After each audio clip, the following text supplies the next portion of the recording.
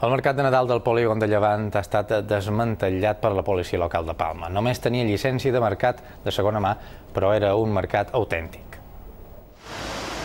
La policia local ha desmantellat el mercat del polígon de Llevant instal·lat per aquest Nadal. Es veu que a l'hora de sol·licitar la llicència a l'Ajuntament es va demanar per posar un mercat de segona mà i no un mercat professional. Com que són coses diferents, també tenen preus diferents i la policia ha vist clar la diferència.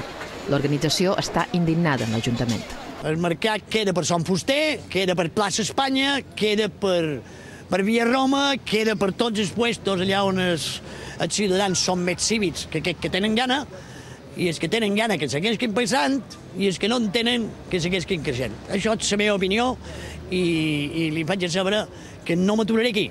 Els venedors estan indignats, ja que han pagat la quota per a cada paradeta i no tenen esperances de recuperar els dobles.